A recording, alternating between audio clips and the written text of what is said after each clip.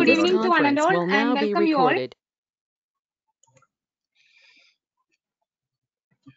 And very good evening to one and all.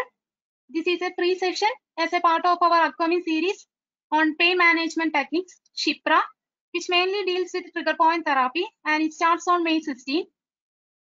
Today, we have a talk on osteopathy in clinical practice by Dr. Shine Mohan Talapulli.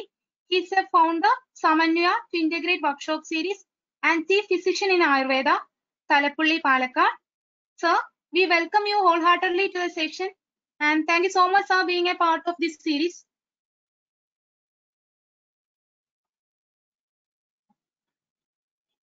Hello, sir. Thank you, doctor. Uh, can you hear me now? Can you see me now? Yeah, so we can start now. Okay.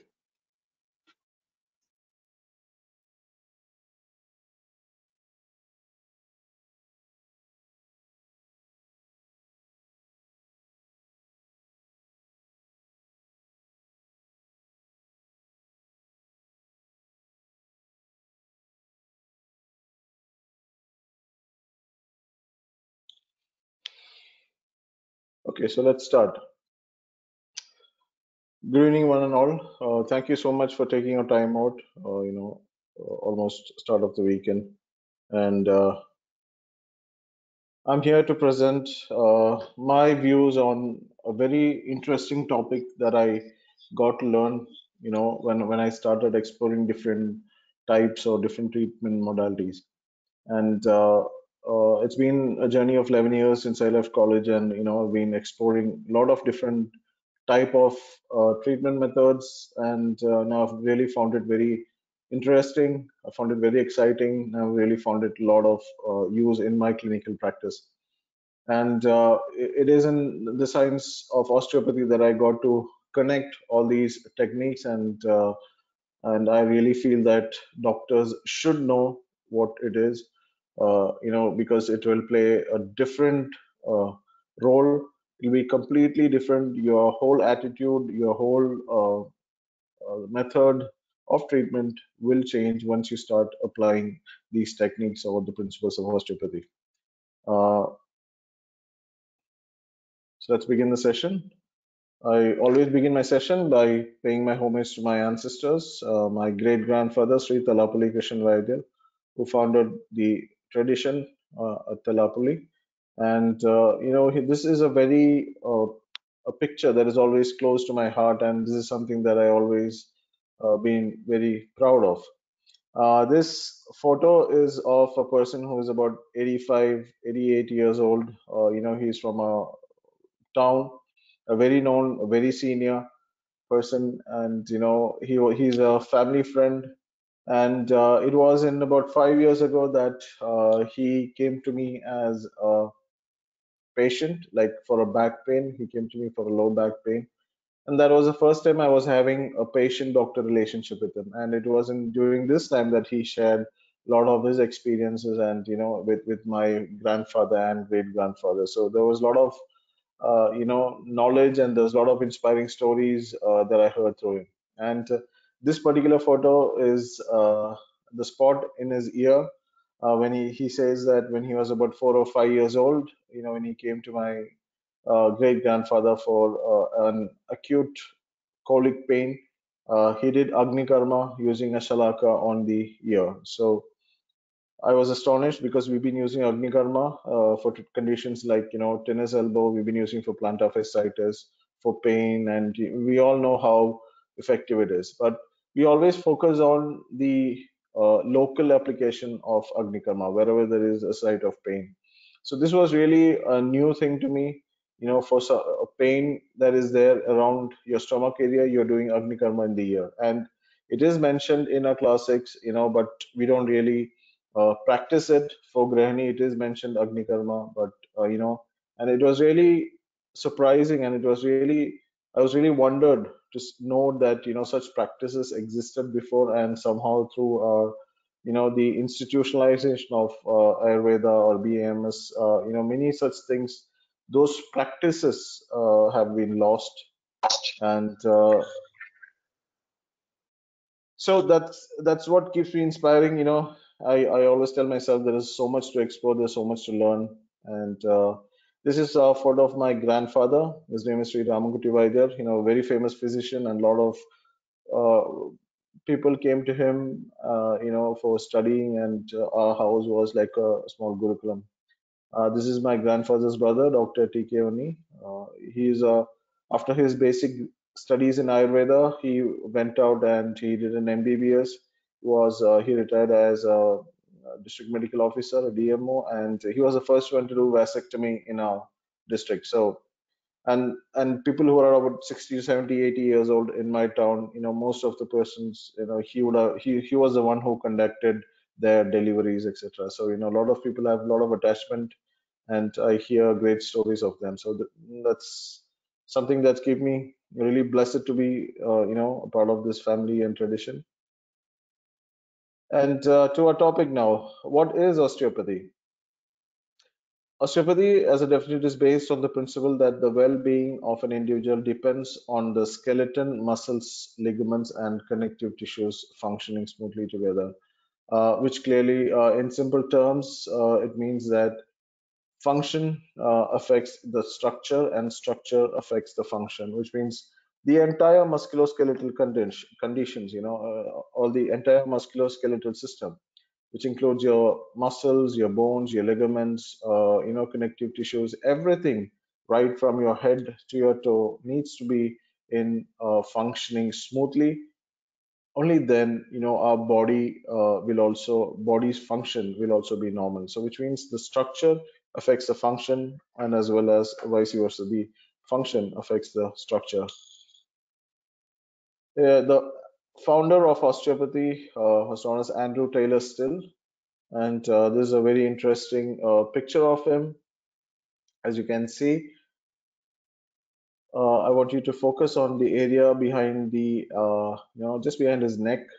You can see that so basically uh, andrew taylor still when he was he was a farmer's son and when he was small he used to get this headache you know terrible headaches.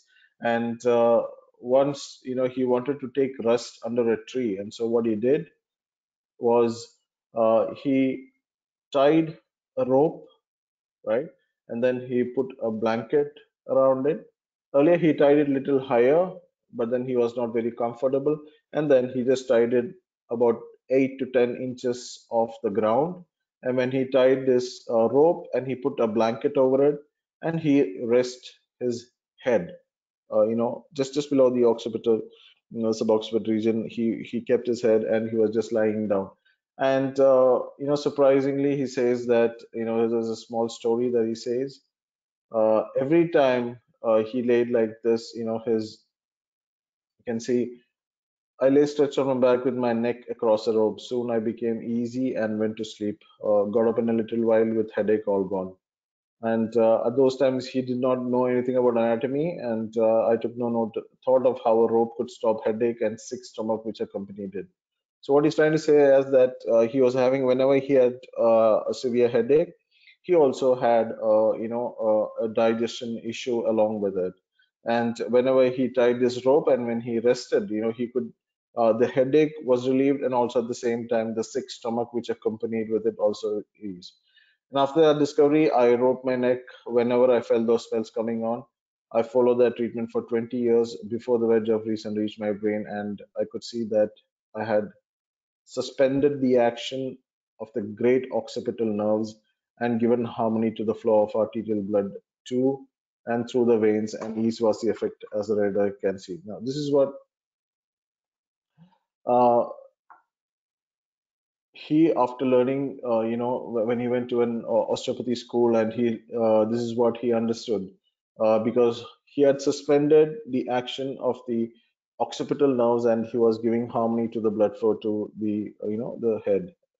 And uh, that's what led to a lot of study in osteopathy and it's been a lot of inputs and a lot of research has been going on in it and a knowledge of anatomy is only a dead weight if we do not know how to apply that knowledge with successful skill and uh, you know when i first uh, read that and i said it is really true because uh, in, in in our curriculum we we study anatomy you know we we study anatomy in our first year, and then from from the second year or the third year is more into you know treatment and chikitsa or nidana or, or those aspects. We don't really uh, focus so much on the anatomy or the structural anatomy as such. Uh, we study about you know medicine. We, we, we refer a lot of uh, you know the uh, conditions. Uh, we understand the modern aspect of it, but I'm talking about the very basic anatomy because when you are dealing with uh, a structural condition or a musculoskeletal condition, we need to apply, uh, you know, there is applied anatomy, etc., that needs to be uh, understood and applied in every case that we see.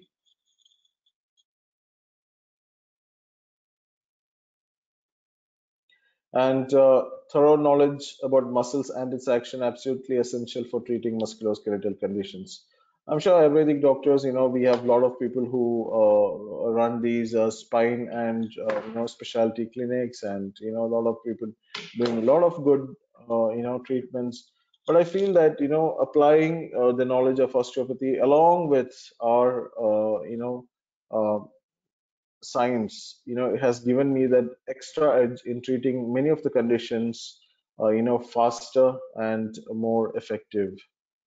Just a second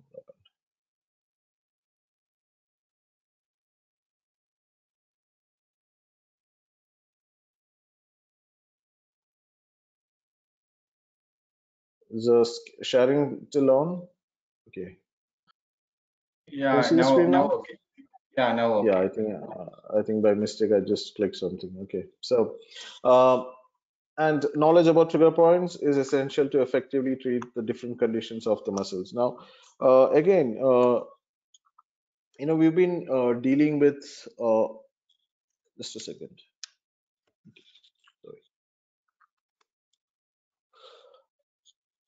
We Ayurvedic doctors, you know, have been dealing with you know these structures or these principles that we mentioned in osteopathy you know and that is something that we'll be doing throughout with uh, you know with our practice. And it's not something that we uh, understand and do it. For example uh, we there are a lot of doctors senior doctors who develop you know who have developed various techniques over their period of practice you know and it was something that they developed like special massage techniques for special conditions.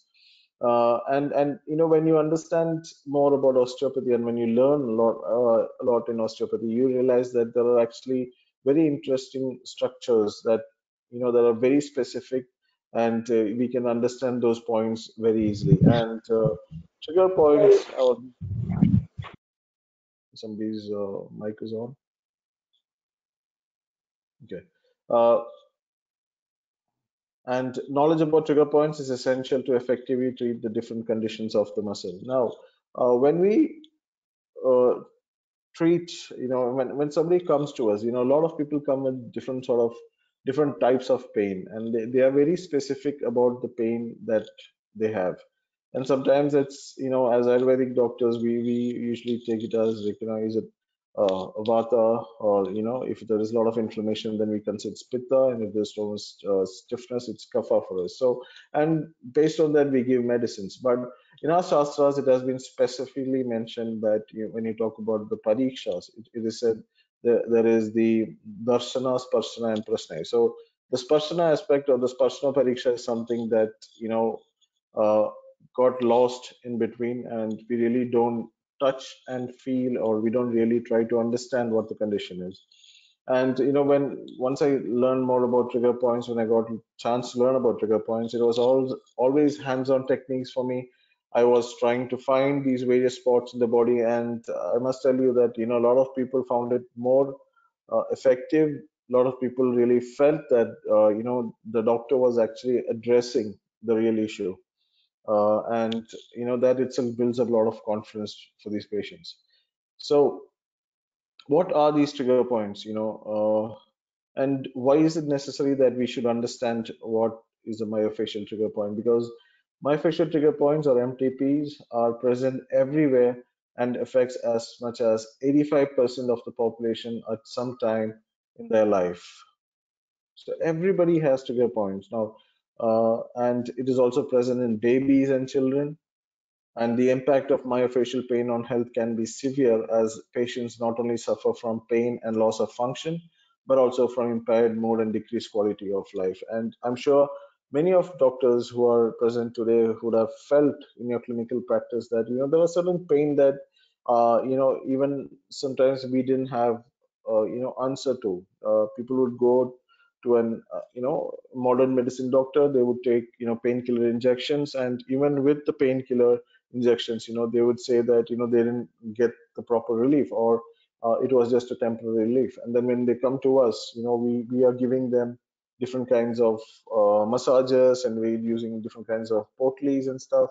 Uh, you know dharas uh, tailadhara kashayadhara all all sort of things we do. And uh, you know and and the, there are certain conditions there are certain moments you know when people uh, sometimes even don't feel much better with with those treatments as well. And uh, you know it'll be just like what do you say uh, increasing the treatment duration. Uh, you know a lot of cases when when we do a 14 day or a 21 uh, day course and people feel slightly better and you know we hope they get better during that uh, you know the resting period but then they come to us again after three or four months uh, you know uh, with these complaints. So there are there are very uh, specific structures within the body uh, within phenomena that we need to understand to effectively treat pain.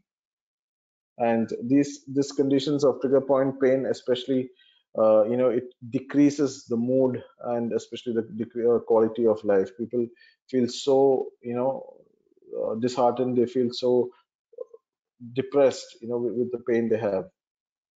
And anyone who touches the body should have a thorough and deep knowledge of trigger points. So just a basic idea of a trigger point you know i'll just uh, quickly brush up your anatomy on the uh, muscles and you know so you know the the basic unit of muscle is the actin and myosin filaments right? And just small strands. And these actin and myosin filaments they combine to form what is called as a myofibril and these myofibrils they combine to form the muscle fiber. The muscle fiber combines to form the fascicles and the fascicles combine to form the belly of the muscle. And uh, you can see that each the muscle fiber is covered by the endomysium the fascicle is covered by the perimysium and the belly of the muscle is covered by the epimysium so it's basically uh, bundles you know bundles upon bundles together. And and you know a set of uh, muscle fiber is has a covering a layer which is called as the endomysium and then the fascicles those bundle in, in lot of bundles it's called as the fascicle and it's uh, covered by with the perimysium and the bundle of fascicles uh, which is combined together with the form the belly of the muscle and that has a covering which is called as the epimysium and we should understand this you know the the bundle within the bundles and the uh, connecting the layer surrounding each. And you can see that the epimysium is continuous with the bone or the periosteum of the bone. So and this is the structure what we call as like you know like fascia. I'll be talking more about it. And this is how it is connected throughout the body. Uh, and uh, the, we know basically there are different types of the basically the three types of muscles uh, you know the smooth cardiac and skeletal muscle. And you know the smooth muscles for your internal organs cardiac for the heart and skeletal muscle is for the rest of the body.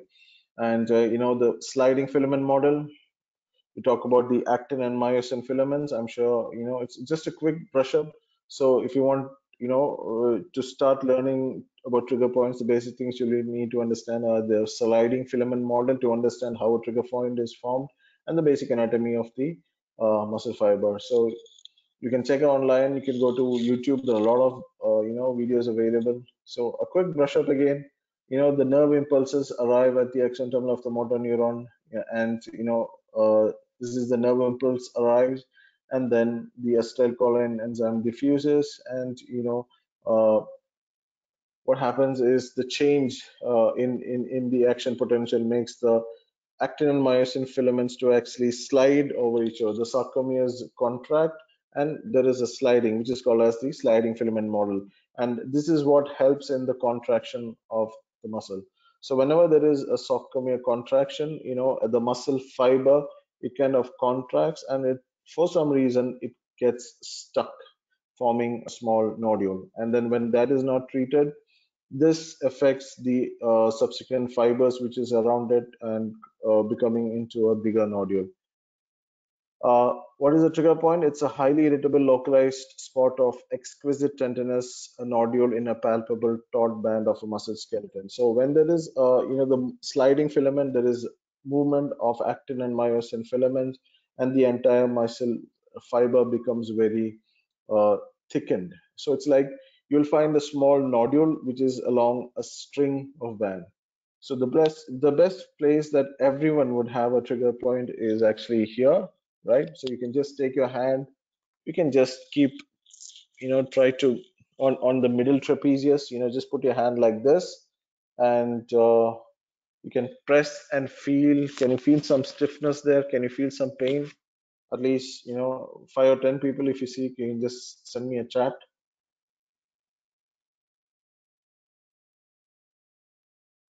Can you just uh, keep your fingers like this and press and see if you get any sort of stiffness? And it's, it's a very common point, you know, when people come and tell us. I'm not able to see everyone's screen, so.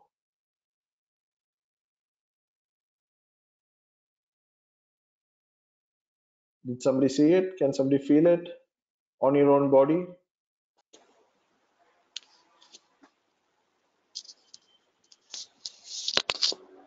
Yes, I got one reply. That's from Harsh Kamboj. Okay. Anybody else? Because this is a very common spot, right? Every your patient comes to you with, you know, uh, and and the presenting. Uh, അവിടെ കുറച്ച് symptom- ടെൻഡർനെസ്സും കാണുമോ Yes, tenderness. കിട്ടി Tenderness ഉണ്ടോ ഡോക്ടറെ ഉണ്ട് എനിക്ക് ആ ഒരു പെയിൻ നമ്മൾ പല സ്ഥലത്ത് ടച്ച് ചെയ്യുമ്പോൾ സ്റ്റിഫ്നെസ് തോന്നുന്നിടത്ത് പെയിനും ഉണ്ട് Mm, and, uh, Hmm, uh, so it's like uh, this is a very very common spot, and here is where you know this this spot is present in almost everyone because you know the kind of posture we sit in, or the kind of work we always do, you know, and uh, this is nothing but a trigger point of your middle trapezius. And, watching. Okay, and uh, when when we uh, press and see, and and you know you have a lot of patients coming us coming to us. You know, they all complain like this. You know, and and they say that you know when they try to uh, put some force and do it, and they feel a lot of relief, etc. So this is what we're trying to do, and you know, try to understand what this phenomenon is. So this is basically the trigger points of the middle trapezius, and how do we treat it? I'll just give you a quick uh, intro in this session. So the coin trigger point uh, was uh, the term trigger point was coined by Dr. Janet Travell and David Simons. A very famous book on trigger point therapy by Travell and Simons. It's called. You know, you can get the PDFs online, and they were the ones who actually started doing a lot of work on trigger points and you know fascia and uh, things like that. So Artificial trigger points are those trigger points that are found in a specific muscle and its fascial wrapping. So you have a trigger point in a one particular muscle fiber, it spreads to subsequent uh, muscle fibers, and then you know the whole muscle becomes stiff. So there's a video which explains it. We'll probably Very few people know that these problems are often related to trigger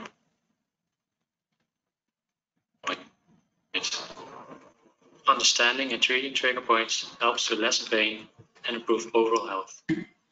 This video is a short explanation and introduction to the trigger point. A trigger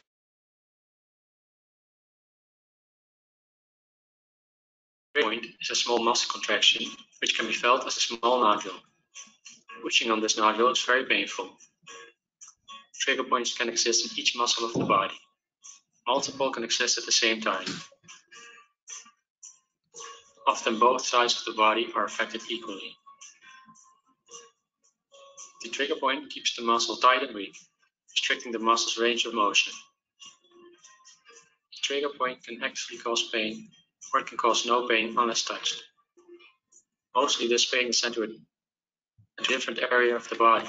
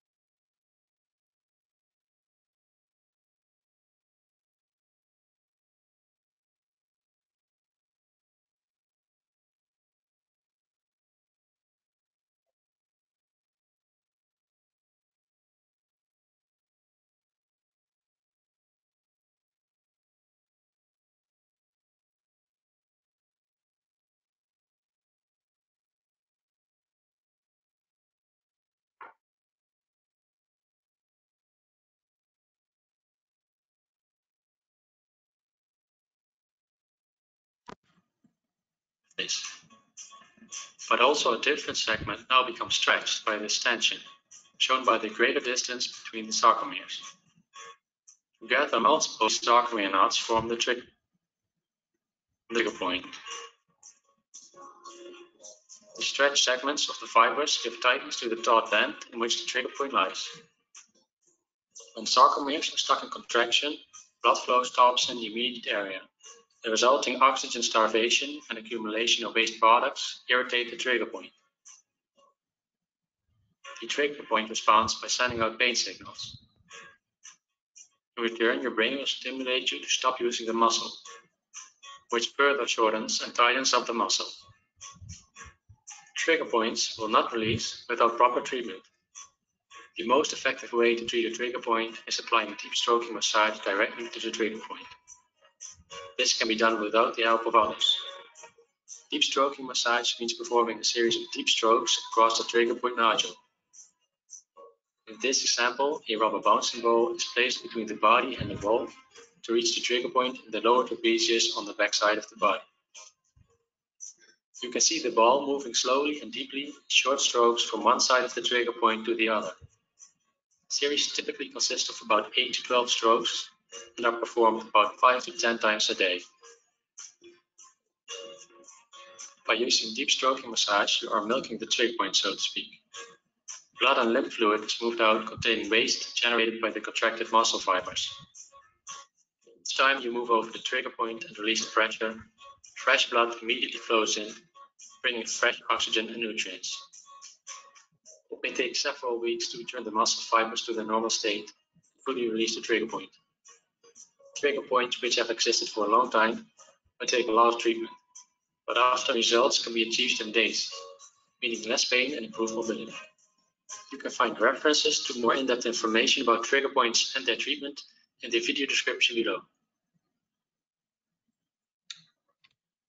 This video is uh, available online. You can get it on YouTube. Uh, Many people suffer from pain uh, I hope everybody was able to see the video.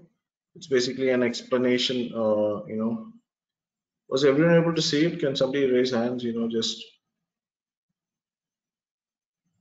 Somebody said there was no voice in between. Yeah, I think uh, when I tried to plug in my earphone, there was an issue. Were you able to see the video?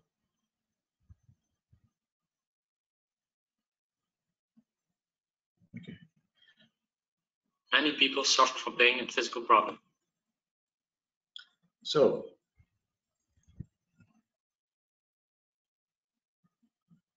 So basically, here's what. Tight strength this muscle what, feels like a cord. you know, a muscle fiber, you know, you can see very clear, a very great animation. taken for tendon. Both can be felt the sarcomeres acting like tiny pumps have to contract to create movement, contracted state. Why? Because of this. But also Uh, these are the individual muscle fibers, and you can see the sarcomere contraction, and uh, it kind of gets stuck. And you know, and when that is not treated, or when it is left alone, you know, there is tightness in the subsequent muscle fibers, and then the green color represents the stagnation or the improper circulation or the inflammation uh, in the body. And uh, the best technique that we usually use are actually compression techniques you know, a lot of methods, you know, uh, this is a very common thing. This is like a self-help techniques. All the athletes, you know, uh, nowadays they understand what is a trigger point and, you know, there are a lot of self-help techniques that they, you know, the, the physios teach them because it's not easy, you know, because this is very important for them in their recovery. So somebody who's doing a lot of, uh, uh, you know, research in sports medicine and Ayurveda, uh, this is definitely a topic that you should really look into. So um, uh, I'll just give you examples in certain muscles, you know, where there is uh, trigger points. You can see the blue dots actually represent the trigger points. So you have the upper trigger points and you have the trigger point in the middle trapezius and the trigger point in the lower trapezius. And, you know, the interesting part of trigger points is the pain map that we see the blue color uh, shows where there is a trigger point and the red color denotes the pain map associated with it. And this is the most tricky part. So uh, people having trigger points you know somewhere here but they always feel there is a pain slightly above or slightly below. And uh, on on on the right hand side corner you could see uh, you know somebody who has a trigger, trigger point on this side which is the upper fibers of the trapezius sometimes the pain radiates from the ear into the forehead right? So it's this whole area. And uh, you know most people nowadays they have because this is uh, uh, you know that muscle that we usually use to sit forward you know just bend. When you flex your head when you use your computer too much you know this this becomes overstretched and this is the area where there's a lot of strain so the you need to understand the origin and an insertion in a muscle because we need to understand how to do stretches. So uh, just a basic, you know, uh, the origin is the medial third of the superior nuchal line of occiput, the external uh, occipital protuberance, and the ligamentum nuchae. So here's the origin of the trapezius muscle and the insertion, the spinous process, and uh, sorry, on the border of the lateral third of the clavicle, right, the medial border of acromion, and the upper border of the crest of the chest. So what does a trapezius muscle do? It actually holds the scapula, right, and gives, uh, stabilizes our shoulder joint. So what are the action? It, it pulls the girdle up, prevents the depression of the shoulder. So when, when somebody comes to us, you know, for certain conditions, when they say, you know, uh, they're not able to lift the hand, or sometimes they say that they are able to lift the hand to one particular level but they're not able to lift it beyond certain level. You know all sort of conditions. And so we need to understand what are the muscles involved which muscle is affected and then we go and search or check for trigger points or any sort of uh, you know imbalance in that particular muscle. So that's the trapezius and you have the scalenes. And scalenes are you know three uh, scalenes anterior, medius, and posterior on the side of the neck because uh, very common, especially uh, you know in conditions like torticollis, it's the scalenes and the sternocleidomastoid that is most affected. The origin is from the transverse process of the cervical vertebrae, and the insertion is the anterior and medius first rib and second rib. So what what does it do? It actually flexes the neck because you know, and it lifts the ribs while uh, you know inhalation. And uh, and in, in, today's conditions, you know, people when they get these trigger points, you know, what? The pain radiates to the front of the chest to the hands, and uh, many people uh, get scared because they find they feel you know it could be uh, some sort of angina, you know, and and when they come to us, we feel that you know we, when we find out that it's just trigger point, because what happens is they they have this severe chest pain and a pain radiating towards the chest towards the hand and uh, you know when they go to a modern medicine doctor or you know any clinics when they take the ecg it's normally no uh, the ecg is normal but the patient is having severe pain. And you know that's when the doctors even uh, don't get find an answer to it. And that's when, when they come to us right? So uh, we need to have a differential diagnosis. Is it a, a trigger point on the scalenes that is giving a small a symptom like that right and the splenius capitis, uh, you know, the muscle on the posterior side of the neck, and you can see.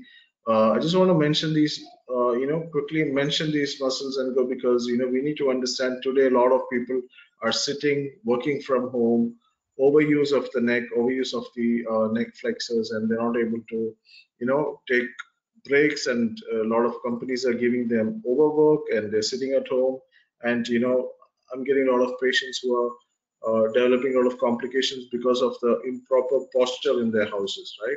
Uh, because in, in office they have proper office chair and table, but in house they do make it do uh, do with uh, what do you say uh, a dining chair or, or just a normal bench or something. So a lot of people have a lot of difficulties these days. So it's important that we understand this condition then you have the rhomboides major minor, you know, very common in between the scapula. People always come and tell, you know, there is a severe pain there, and uh, you know, we need to understand. So, what are trigger point characteristic? You know, the trigger points are always at a single point. A nodule is embedded within a TOD. So when you try to uh, what do you say, palpate and find out. So basically, when there is a muscle fiber, right, we always palpate on the perpendicular to the muscle fiber, and then we sometimes find these knots or nodules, right?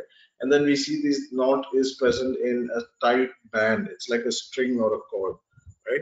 And uh, the best part is the pressure reproduces the pain symptoms with radiation and specific max. So when, when you find a trigger point and when you press it, right, uh, you will be able to reproduce the same pain that the patient is complaining of. And that's the most interesting part of trigger point therapy. People come to you with headaches, you know, one side of the head, uh, you know, they go online, they see it's, uh, you know, migraine and things like that. And, you know, they take a lot of medications and nothing is effective. And, and they come to us and we find out there are these trigger points. When we press on these trigger points, you know, they get that exact pain what they have been feeling. And you know that's that's really a magical thing for them as well because they feel that oh the doctors actually found out what my problem is. And and, and when we then release it almost instantly that pain is relieved. And the best part is pain cannot be explained by findings from a neurological examination uh, or any sort of investigations. We will not be able to identify these trigger points. And because of that it's a complete hands-on technique and you know you really feel like you know uh, what do you say like a healer? You feel the magic in your hands when when you actually treat trigger points. And it helps a lot in boosting your confidence. And it may induce autonomic changes. And here's what how it gets connected. Because there is uh, the muscle is tight before there is because there is stiffness in that particular muscle you know it it com somebody saying audio is not clear? Uh, is my audio clear? Or is it just with one person?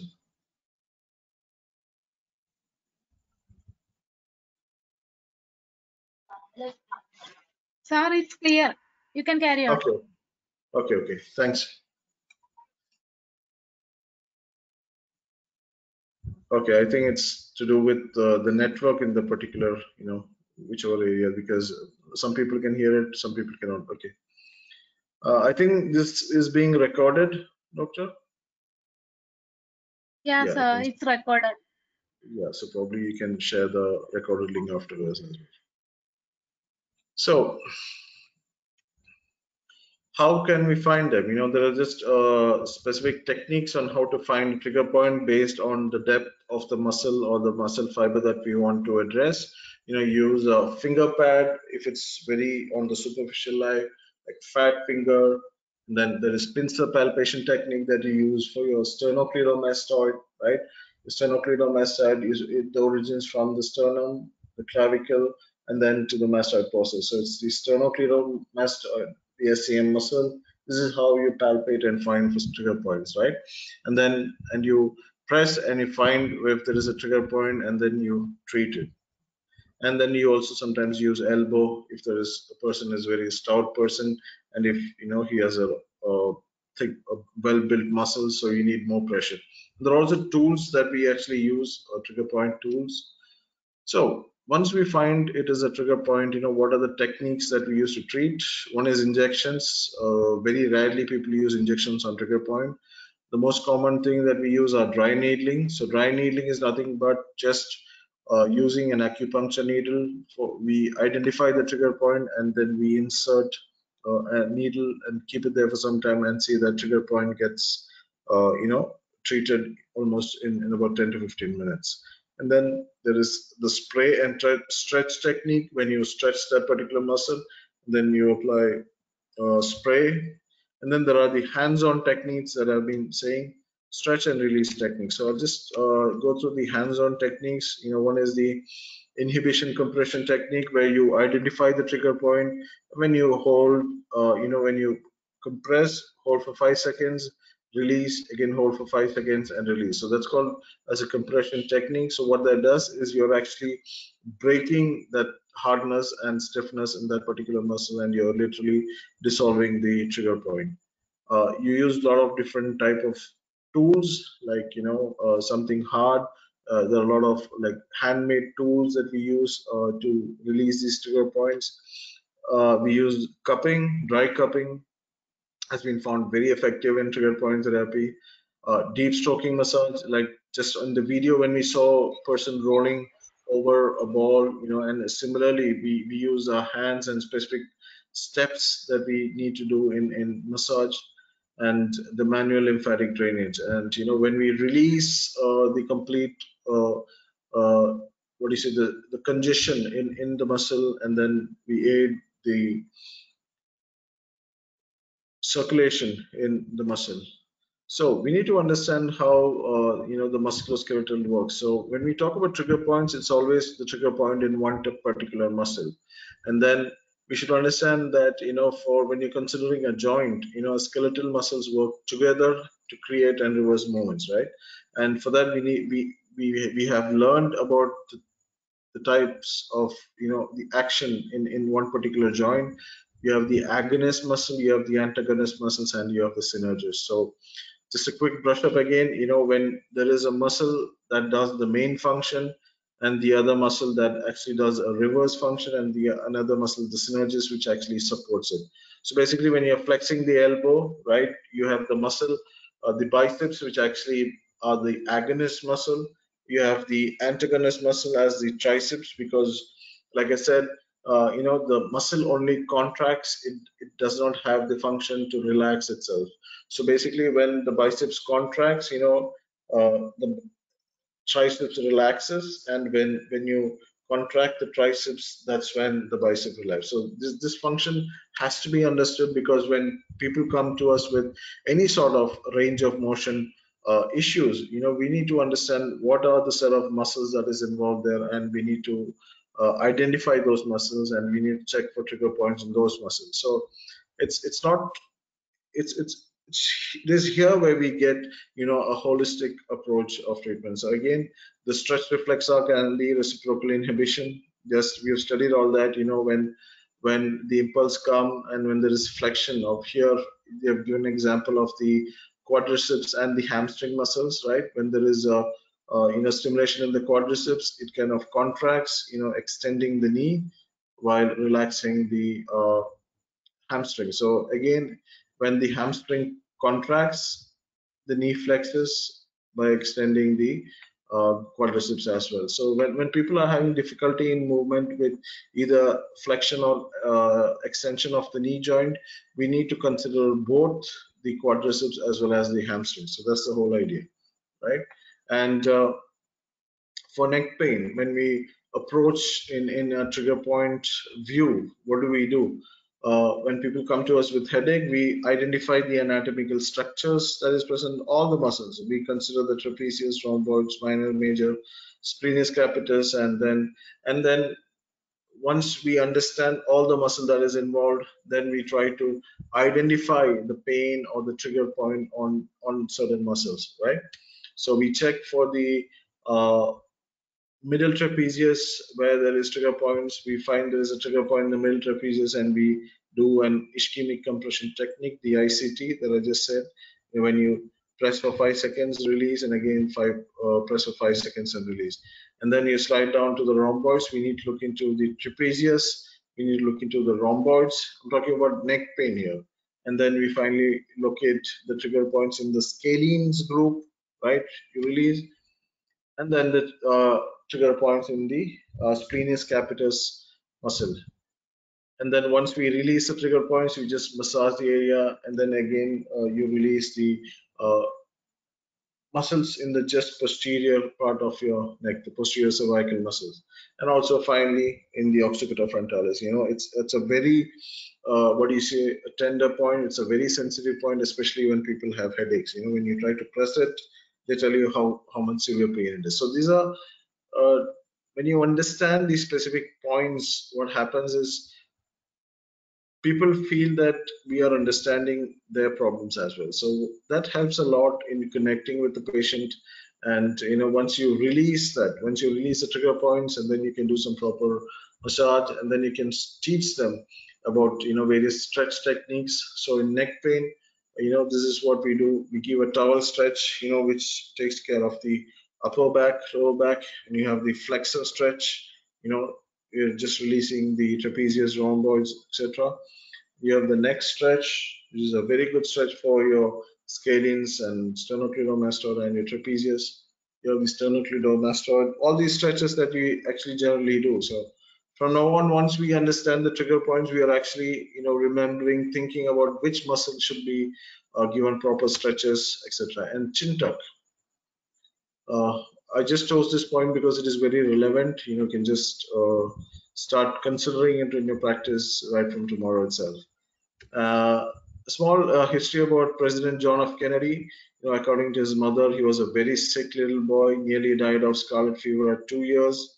He had whooping cough at five years, digestive problems at 14 years, and uh, diagnosed of hyperthyroidism at 17 years. And at 30 years, you know, he had a spinal accident and he was almost bedridden. And uh, this is picture of uh, Dr. Janet Travell, you know, the lady with him. And uh, she was the one who treated him because a lot of doctors did not understand what the and she applied the principle of trigger points and she found out the pain map in his body and then uh, you know she treated him accordingly and uh, you know when he was the president she was appointed as the chief physician in, in the white house that was you know first time when somebody from outside you know gets uh, appointed by the president himself. And uh, that that's how important uh, you know these trigger points and these myofascial pain syndromes are. And when you consider about you know the trigger points we understand that single muscle fiber we understand which muscle it is in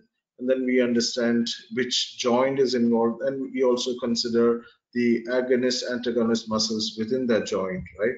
And when you're talking about particular joint you can see it is connected throughout the body by what is known as a structure called fascia. And fascia is a place to look for the cause of the disease and a place to consult and begin the action of remedies in all diseases. Because your fascia is something that connects you know everything together right from your head to your toes. If you remember the anatomy of the muscle fiber you had the uh, coverings you know the perimysium epimysium and the endomysium like which is covering of the each individual bundles and then which is continuous with the body. One simple example is you know when when uh, we we consider according to ayurvedic principles we have the uh, hair the roma and naka as the uh, mala of the asthi dhatu and and we know that whenever there is uh, whenever there is a fracture or something immediately people have uh, you know hair fall etc and uh, even if it's it's so it's not something like a hair fall a fracture in the skull bone only that gives hair fall in you know gives hair fall. But even if you have a fractured leg you know it gives a hair fall. And the main reason being is it is connected throughout with the fascia. So fascia is something a structure that is you know responsible for a lot of functions in the body a lot of function related to movements you know a lot of function uh, related to circulation of body fluids etc but you know when when we learn about uh, when we do dissection in in a syllabus you know we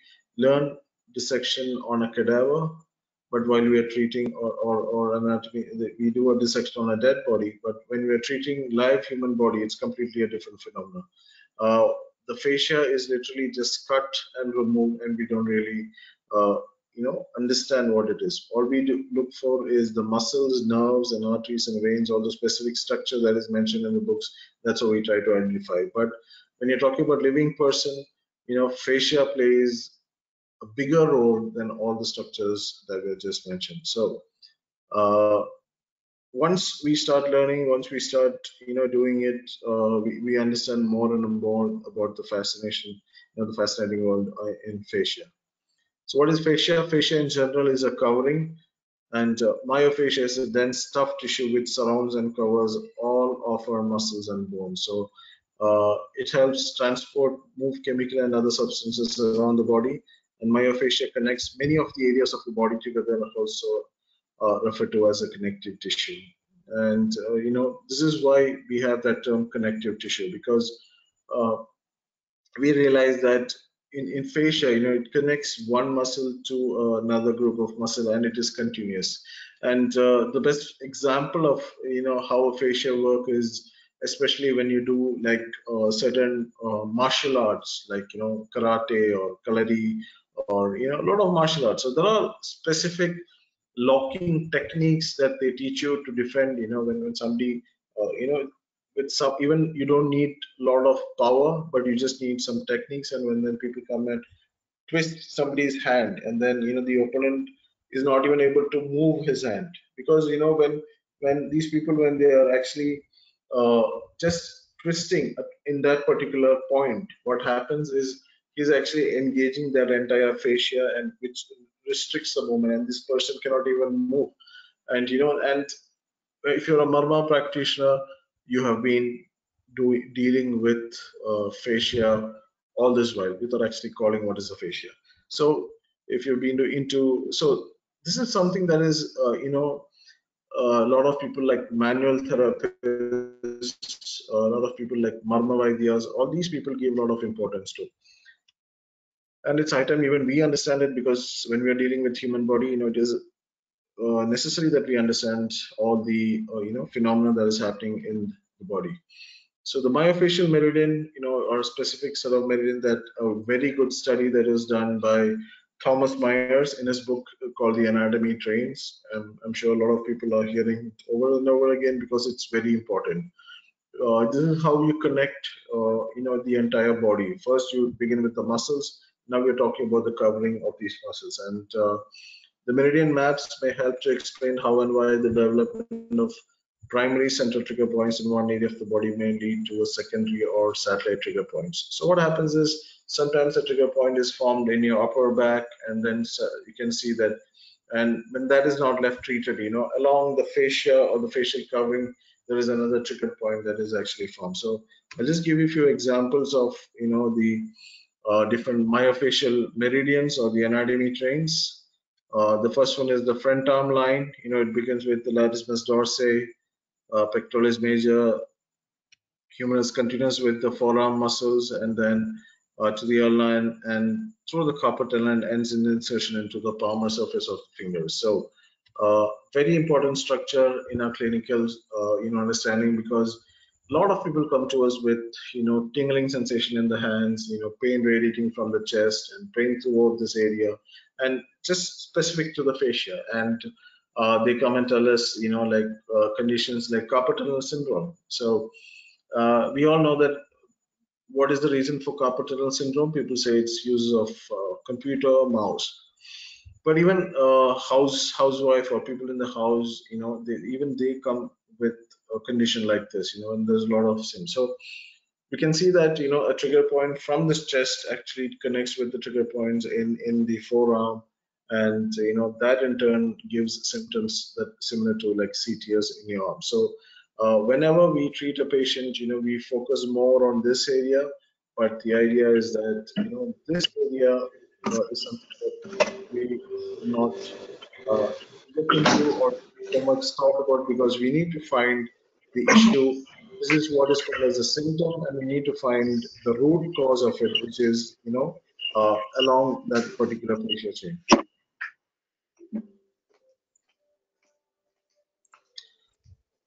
Next, we talk about, you know, the deep front arm line, uh, a very important structure.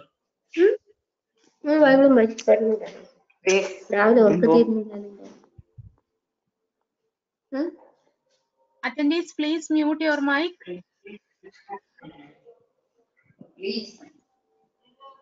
Does does the host have the? Uh, is there an option called mute all? I mean,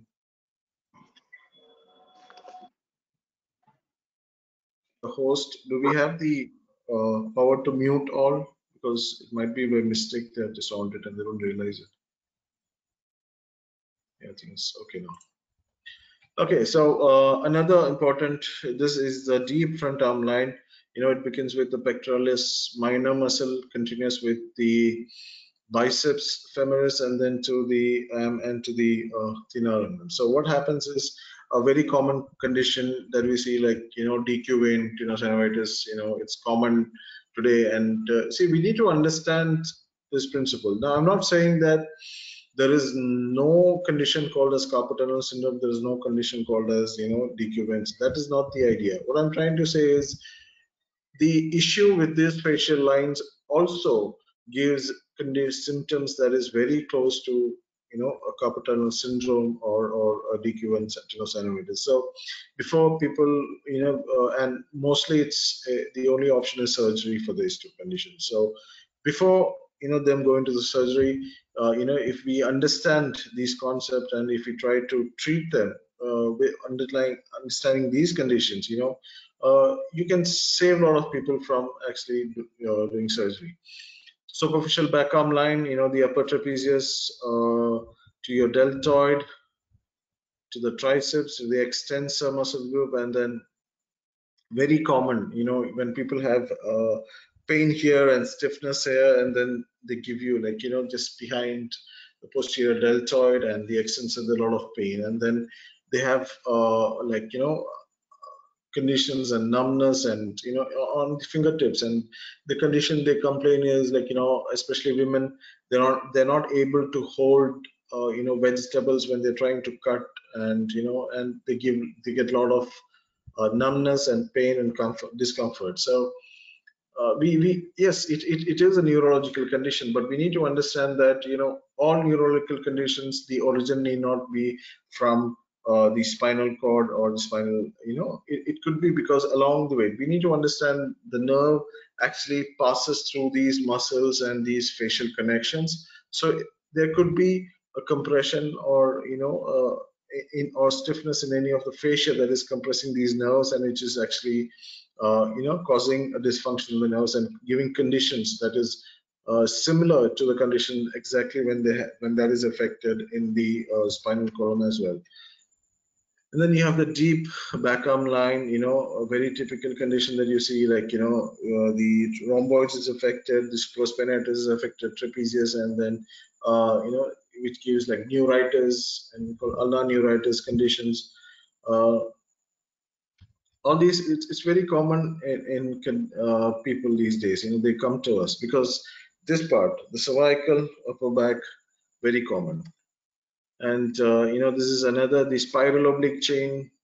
We need to understand the different connections and how it is all interconnected.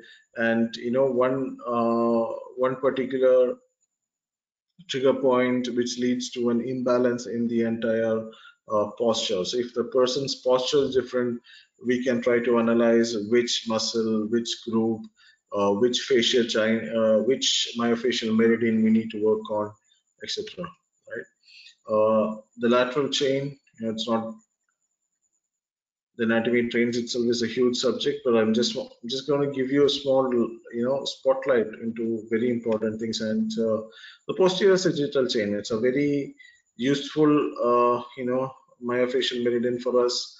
It begins at the occipito frontalis, right, just above your eyebrow. You know, it begins uh, on the the my, myofascial begins here and then goes along the back, the erector spinae to the thoracolumbar fascia, you know, along the multifidus, the sacrotuberous ligament to the biceps femoris, and then it's continuous with the gastrocnemius, and then it continues with the plantar fasciae.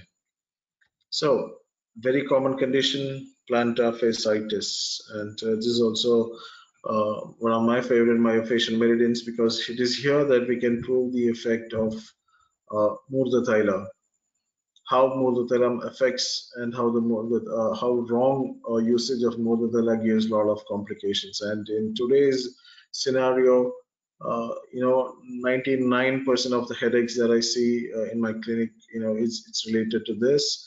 People are complaining with plantar fasciitis.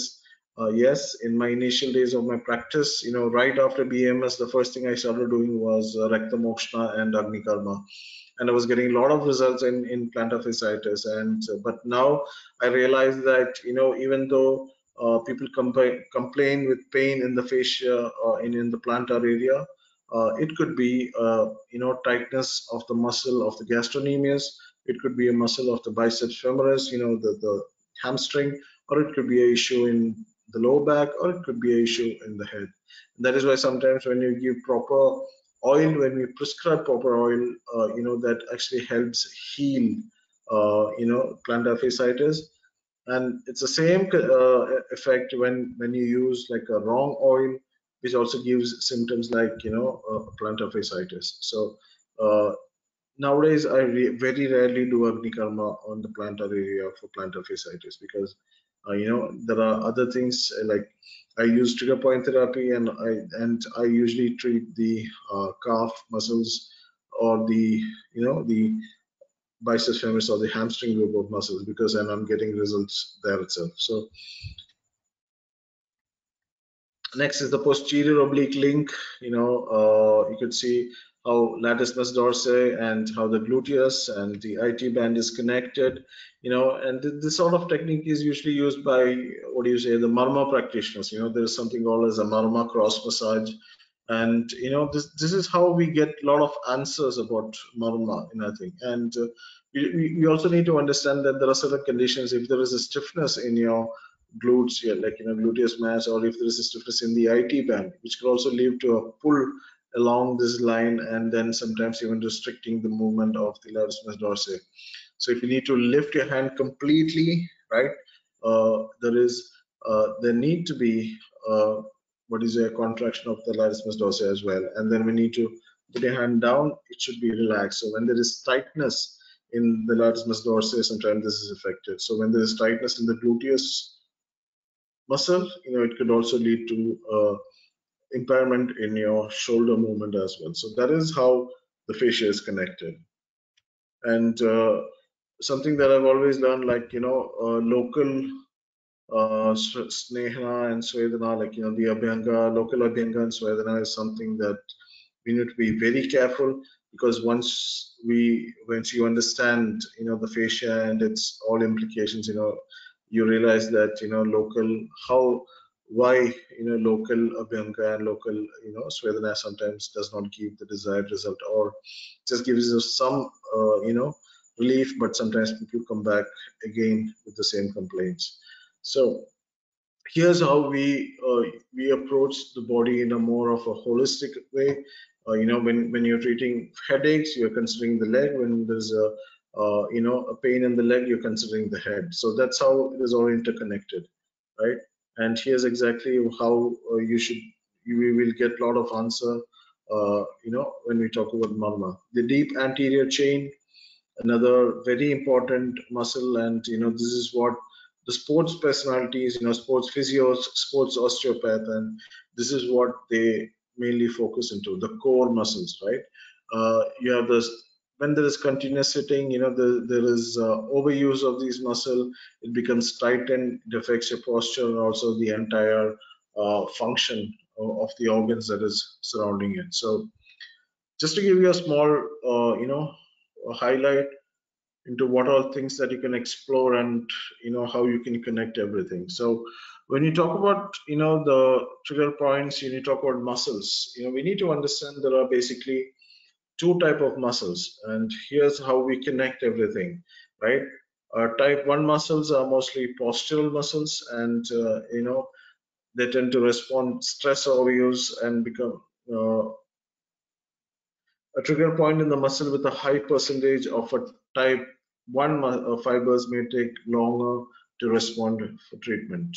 So what that does mean is that you know when we are doing uh, standing for continuously when we're doing uh, long work like you know long hours of sitting you know when there is a continuous the muscle the type 1 muscle fibers are basically postural muscles. And when there is a issue in the postural muscle they take longer to heal right?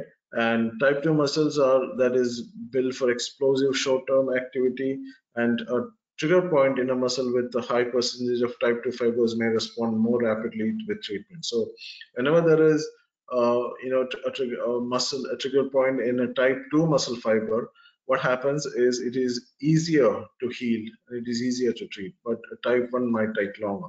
So when you uh, this is how what happens when you have like teachers coming to you after uh, you know the exam duty because they'll be standing for a continuous uh, you know three hours uh, you know, and they suddenly they're complaining of back pain, they're complaining of shoulder pain.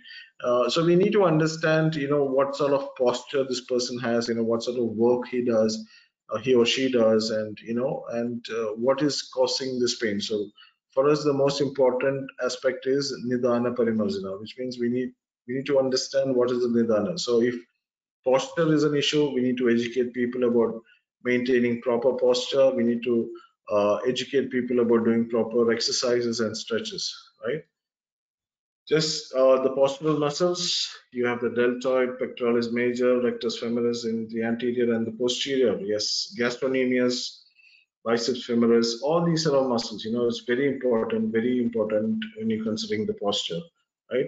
And there could be an imbalance in any of these muscles and, you know, overuse of any of this and it gives you a specific posture?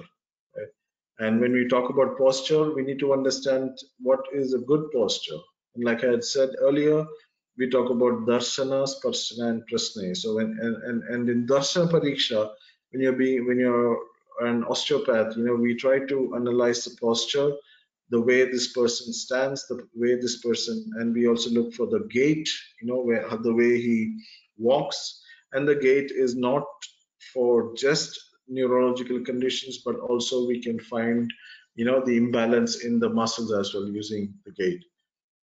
So what is a good posture and what is the test for it?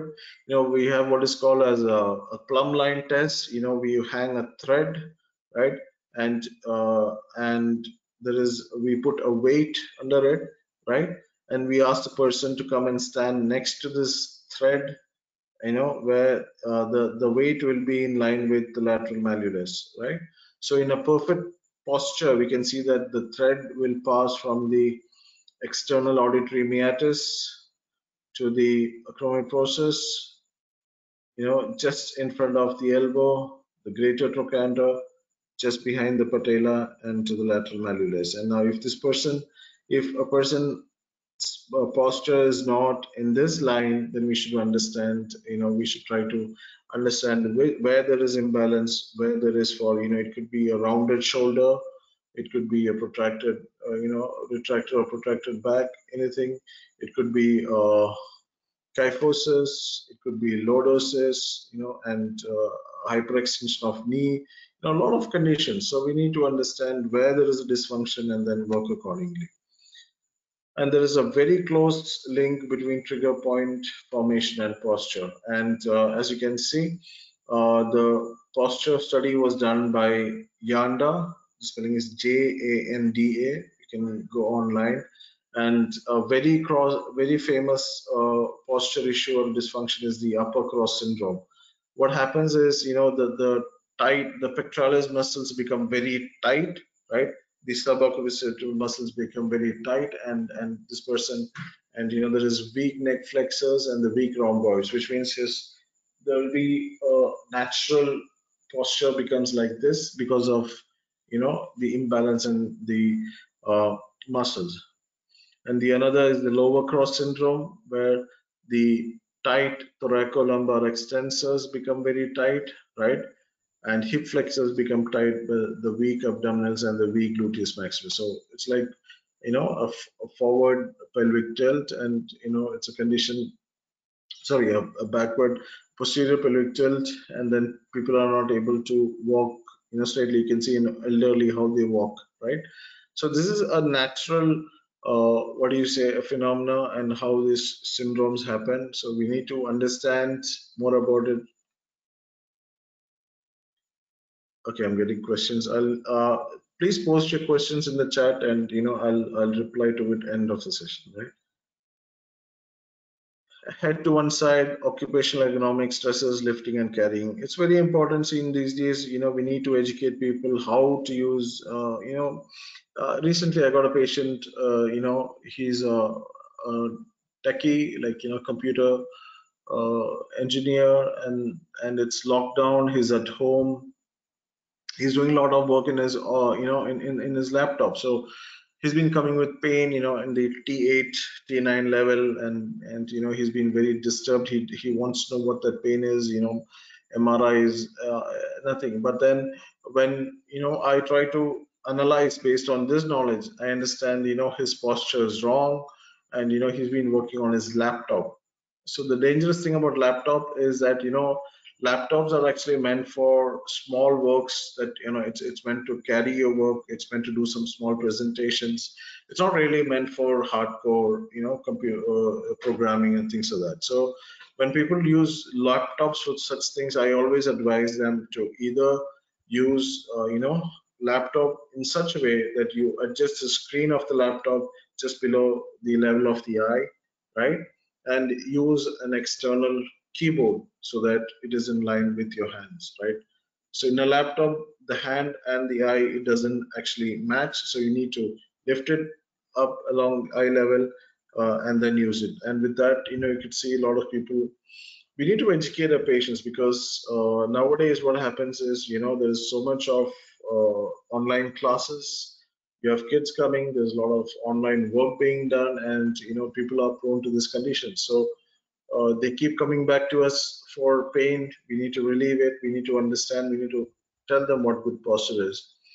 The second is lifting, carrying. I'm sure you know we need to understand. We need to teach them that you know it's always safe to bend your uh, knee when lifting, and you know again, like I mentioned, uh, use of uh, laptops and computers and probably so slouch standing, slouch sitting, sway back posture, cross leg sitting, and habitual postures. You know, uh, very common. People come and sit with cross postures and crossed legged, you know, positions, and you can see that, uh, you know, they are so used to that posture that whenever they sit, they can only uh, sit with crossed leg. They cannot uh, you know they cannot sit in any other posture because it is a, it becomes a habitual posture. And then you know there is a compensation in your body in such that only those set of muscles you we feel comfortable only when you sit it, sit in that position right? Uh, again some different types of postures here you know hyperlordotic back there's hyperlordosis. Flat back you know this is someone like the lower cross syndrome and the sway back posture and the balance posture. So it's important that we uh, teach our patients the importance and relevance of proper posture. Driving, I'm sure everybody knows, you know, bucket seats, it's something that is new gen and it is very, very dangerous to your back, right? Because you're sitting and the load is completely on your lumbar spine and you're prone to back issues and uh, we need to understand and we need to treat we need to give instructions to patients. So when it comes to car drivers or taxi drivers what i always tell them is trying to use a cushion so that you know they increase the height. And i ask them to actually uh, break their journey every 60 or 70 kilometers do some stretches walk around. So you know there is no stiffness in these muscles uh, and you know when we, once we educate people you know they really like to do follow things that you know will help them uh, ease in their conditions and also which prevents uh, them coming back. So here is an example of the same person sitting in the same car but in a much comfortable uh, posture. So again uh, while sitting the rule for a comfortable posture is that you know your hip joint should be higher than your knee joint. So in this condition it is the hip joint is very low compared to the knee joint. Uh, here it's somewhat neutral, but it's still not correct. But when you're advising people at home, you know, I always tell them, especially people who are coming to me for knee pain, I tell them to avoid the sofas that are there in the house, you know, to sit only in uh, a proper stool or, or in a chair, like a dining chair where the height is proper. Right? When somebody sits on the dining chair, you know the knee joint is comparatively in a lower position than the hip joint. And what that helps is when person stand up there is less strain on the knee joint and they will recover faster in case of handling knee. So again uh, here is another video that i would like to share. Uh, please watch. Very interesting video all available online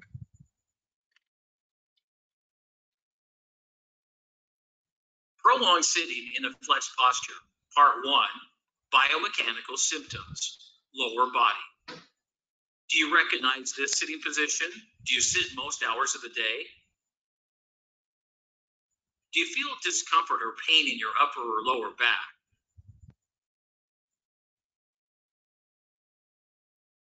What happens to your body when you slump in your chair for too long? Prolonged sitting in this position will in time cause rigidity and tightness in the tight muscles. We can see them colored in blue. These are chronically short muscles, what we call locked short. In addition to the posterior leg muscles, the hip flexors are also chronically short from prolonged sitting. Rigidity in the hip flexors is a direct cause of weakness in the antagonist hip extenders. Muscle imbalance. Muscle imbalances are the number one cause of lower back pain. What happens to the sacroiliac joint? The joint between the sacrum and the pelvic bones. The sacroiliac joint and the sacroiliac ligaments are under load. What happens to the lumbar spine? Here we can see a neutral spine and lumbar flexion. In prolonged slumped posture, the lumbar spine is flexed over time. Damage includes increase in posterior annulus strain, damage to the annulus of the disc, increase in intradiscal pressure. What happens to the connective tissues?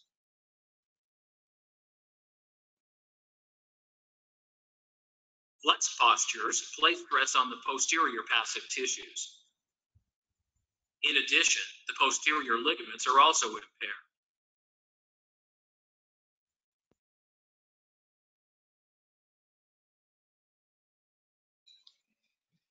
In the second part of the video, we'll learn the biomechanical symptoms in the upper body.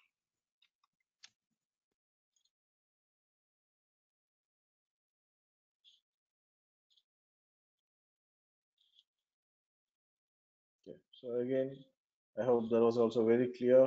Uh, it is available online. When we're talking about uh, the muscle imbalance, continuous sitting, you know, very common today. So you can see how, you know, what are the muscle that is affected, right? person who sits continuously, you can see the upper back, you know, the trapezius muscle, here the sternocleidomastoid, you have the rectus abdominis, you have the psoas major muscle, you have the hamstring that becomes very tight, and the gastrocnemius tight, right? And when this person gets up, you know, there is so much of force being pulled, and you know, he feels something like a back pain. And that back pain need not be because of the structure here. It could be because of the tightness in the calf and you know the uh, the hamstring muscle. So this is why understanding you know the chain you when you when when a person sits in a particular posture you try to visualize the chain that is involved you understand the myofascial meridian we understand which is the weak chain and then we treat accordingly right? So all back pains may not be an issue with the back. And some some some persons who is having very stiff you know uh, a calf muscle pain or a very stiff gastrocnemius or a stiff uh, hamstring what happens? It could uh, lead to a pull in your psoas major as well and then leads to a condition what is called like you know an IVDP and invertebral intervertebral disc prolapse so uh, you can strongly say that you know surgery for IVDP is a strict no and is a waste of time. There is no point in doing surgery for IVDP. Why? Because this is the reason. Uh, in, in in condition like this, where there is you know an IVDP and uh, you see people are you know suffering so much, and even after uh, surgery, you know the back pain is not relieved. This is the reason. Uh, and in osteopathy, the interesting phenomena is that you know the area of pain is uh, for the patient to concentrate and while you as a doctor or a therapist or a physician we need to find the area away from the uh, area of pain to understand the main uh, reason for it right so this is how you know when people come to us with x-rays and mris and this is how we see we feel that you know the spine is you know in, in mental in our mental image of the spine is you know it is just stacked one over the other. But actually we should realize that you know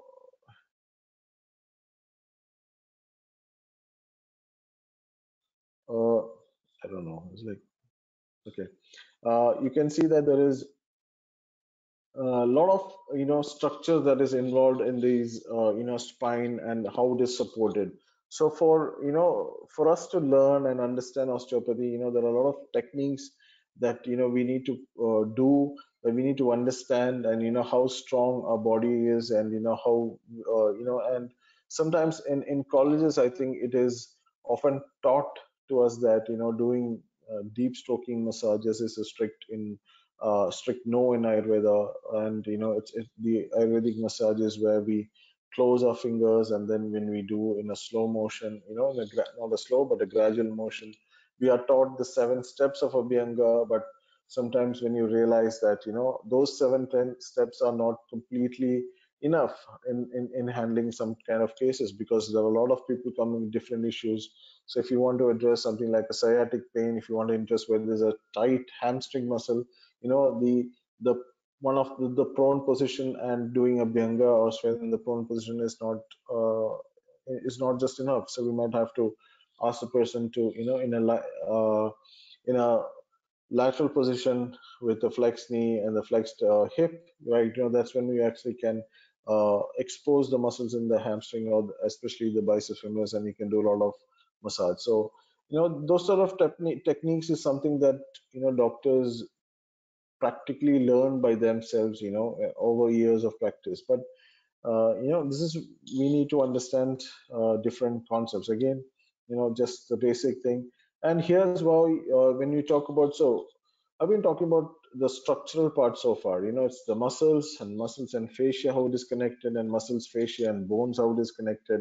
We talk about uh, postures how it is connected. And then you realize that when particular posture is affected i said and here's how it gets connected. Because of the uh, you know improper posture in your vertebral column in your spine and you can see that you know it affects a particular organ and there is a function. So uh, with trigger points you can see that you know there are conditions like uh, palpitations. You know uh, when there's palpitation you know it could be because of a trigger point uh, if there is gastritis you know it could be uh, related to the area of the when people are having difficulty in breathing it could be uh, related to a muscular condition in in in a particular area especially the chest lower back. Because people come to us you know when they, they say that when they're taking breathing when they're breathing you know they feel so much of stiffness and there's shooting type of pain or sometimes when they come they when they try to inhale and then they say oh, they just suddenly get a pain. You know a lot of conditions like that uh, you know people come to us. So over a period of time improper posture leads to the improper functioning of you know the organs as well. So how the musculoskeletal condition affects the uh, organs as well. So that's why i said you know skeleton uh, this is the basic principle of osteopathy that structure affects function and even when there is a dysfunction in a particular organ it also affects the structure as well so uh, a very basic concept in uh, osteopathy what we do is you know we have the mobility and stability concept right so uh, I'm sure it's you know it, it, might be a little hard you know getting all this together, but you know here how it does. So you have the toes have to be very mobile, right? Your feet, the ball joint has to be very stable. Your ankle has to be very mobile. So if, if this is your ankle joint, right? If this is your ankle joint, it needs to move and you know there has to be a proper mobilization of the ankle joint. Uh, the knee joint has to be stable, right? the hip joint has to be mobile low low back has to be stable upper back has to be mobile shoulder blades has to be uh, you know very uh, stable while your shoulder joint should be more mobile your lower and middle neck should be stable while your upper back should be uh, mobile. So here's how we you know this is like a gross uh, information. Sometimes what happens is you know the the mobility in the ankle is affected when you know if the person has say like a supination trauma you know where the there is a supination injury it may not be a fracture it could be just a sprain uh, we do bandages and you know uh, and like the first thing we do are like you know marmaleva bandage or then we go for a murivenna bandage and then we ask them to do exercises. But what happens is even in, in, a physiotherapist if you go to they only look for the range of motion. They, they come to a place where you know if there is i'm talking about the ankle they look for flexion extension of the ankle and then that's it. And because it, it is an osteopathy we, we need to understand that uh, we need to make we we make sure that the entire there is mobility uh, is restored in that ankle joint. Only then uh, can we say that you know uh, that treatment is successful. Because we should uh, when when there is uh, a supination trauma you, you, realize that you know the supination injury happens. Uh, there is also straining of the muscles in the lateral aspect of the you know the the lateral muscles in you know the shin area especially your leg area. So what that happens there is a strain so you also take care of the soft muscles or the and also we understand uh, soft tissue mobilization we need to make sure is also there and also we need to make sure there is mobilization of the ankle as well. So uh, in a kinetic chain you know you have I, I just talked about the mobility stability mobility stability mobility stability factor. We understand which is the weak chain and then we treat accordingly uh, for the entire body right so the rehabilitation process of this uh, you know this is first we do a posture assessment then we do a movement assessment like the overhead squat or a gait and then we check for the range of motion. And then we understand where there is an uh, imbalance we understand where there is a dysfunction and then we treat accordingly right? Uh, so what is the correction? Uh, we first do a soft tissue mobilization the techniques that we do are sports cupping smr uh, iastm flossing technique to your point three i'll just uh, talk about it. So sports cupping. I'm sure very famous you know michael phelps. Uh, you know the the Olympics uh, swimming team in the USA, you know, they they the sports osteopath are using uh, cupping therapy as a very important effective tool in you know in recovery. Uh, and this was uh, you know Michael Phelps, and you can see the and a lot of people feel that these are hijama. No, this is not hijama because these are just dry cupping. Hijama is completely a different uh, you know science and it's completely different method. So this is just dry cupping and it, the uh, it's based on the principle of osteopathy and you know uh, and muscles and you can see another swimmer with a lot of cupping marks because they it, it helps in the healing of these muscles that's michael phelps himself with those cupping sets you know uh, another bodybuilder you know a lot of people are into bodybuilding to relieve the stiffness and because there's a lot of uh, stiffness and lactic acid build up right so it's not easy to recover from all this with cupping sets, right? And then you have the uh, SMR is nothing but the self-myofascial release, right? Uh, where you understand where you involve the fascia and then you try to stretch the fascia by with some breathing techniques, etc. Uh, these are the trigger point tools that they use, you know, just trying to finding those trigger points or finding those fascial knots or the fascial adhesions. Then you're using a machine to actually just to slide it over that particular area. These are the self-help tools that is available in the market today. You know a foam roller what do you say? A ball a massage stick. No it's it is all very very uh, uh self healing techniques that is available today. Muscle roller very effective and you know uh, athletes are are carrying these things always with themselves because you know it is such uh, very effective. Are you with me? Is am i audible can somebody reply? Sir. yes okay okay. Thanks. Because i was getting a message about my internet connection being weak and all that so i just want to make sure i was there. So uh, you know these are massage rollers very very effective. Uh, you know sometimes you know i have this in my clinic. Some in some conditions you know i use it. Uh, you can do it with the clothes on. You can do it you know on a patient and and it's very effective. If it's just uh, simple conditions like a sore muscle you know the stiff muscle and you know it is very effective. And uh, next is this is the foam roller. A lot of method you know you just go to youtube foam roller techniques and self-help techniques you know. Sports persons uh, you know they use all this on themselves because you know they can do it without the help of a physio.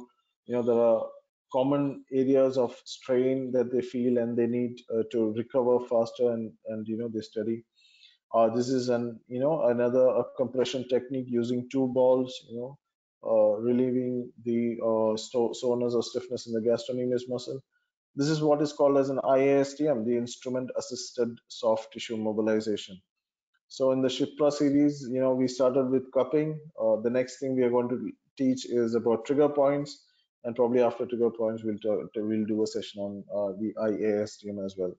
Very important, very useful technique. You know, you just uh, scrape it.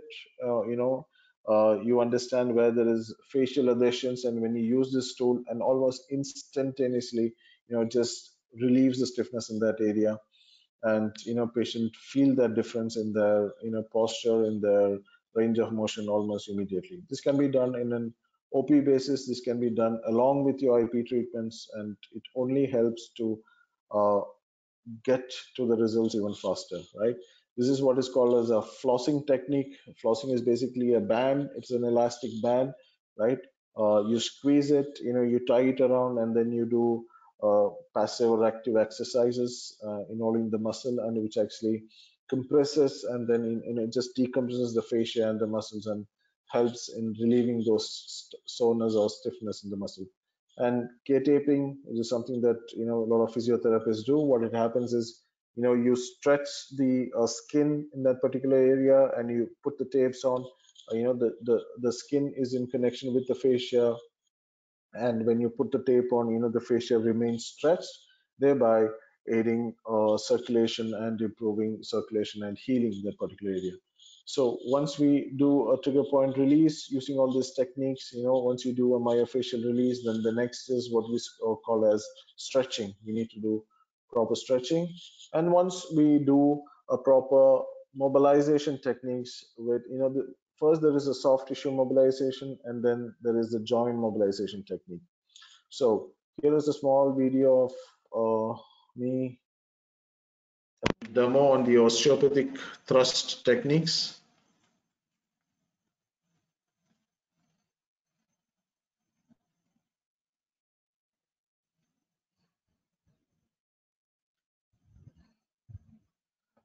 So once you treat the muscles, you know, once you release the muscles, there might be some correction that is required in in the uh,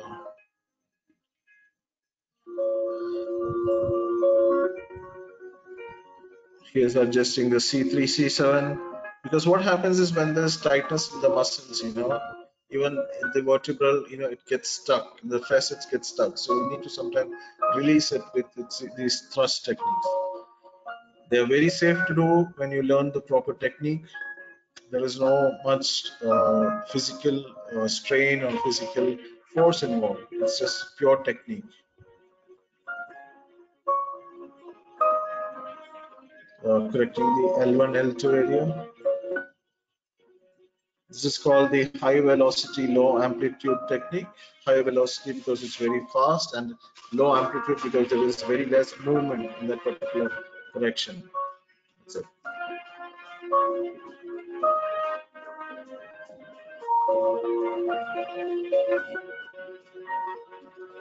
hip assessment and hip correction.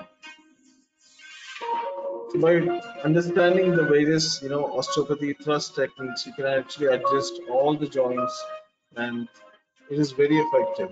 Once you started applying this also in your clinic, know, it's completely a different uh,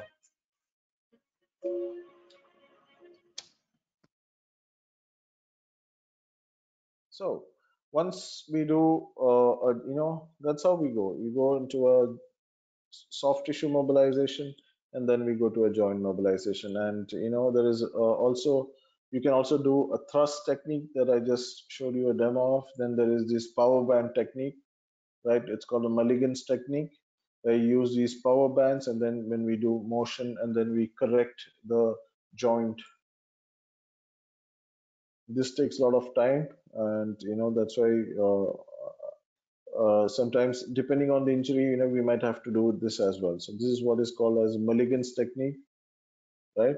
Joint mobilization technique. So you're just fixing the joint and then uh, increasing and you know uh, improving its function by using passive or active techniques so finally coming back to where we all started from Ayurveda. Now, uh, all these techniques and all these things that I showed, you know, one thing that we all need to understand is, you know, this this all can be and should be done uh, you know, along with our practice. And I, and in no way I would actually suggest people that you know we should actually uh, substitute, uh, you know, this with Ayurveda or something. It, it, it's not like that because what I felt that you know when when an Ayurvedic doctor understands this kind of trick, uh, you know, techniques and osteopathy science and how it's improved, you know, are uh, because we have tools like Marma, we have tools like Abhyanga, we have tools like you know Potlis and you know different types of Dhara, etc.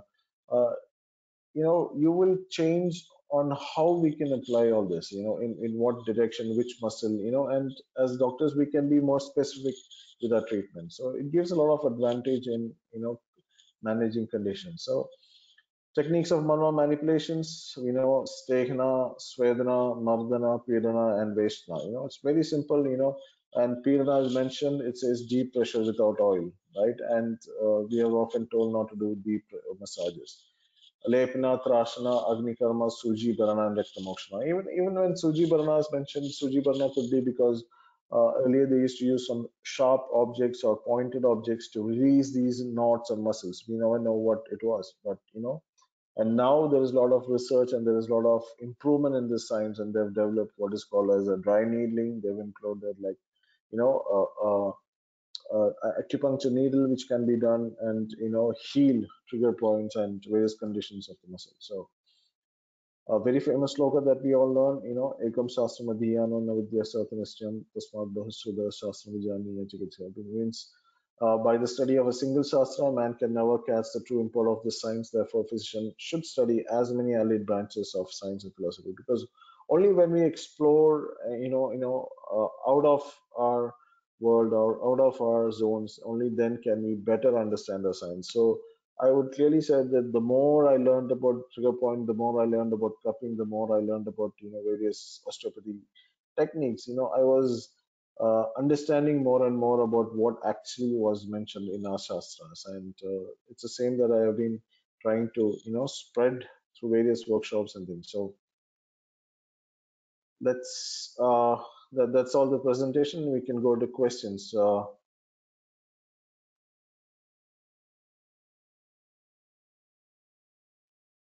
Yeah, thank you, sir. Thank you very much.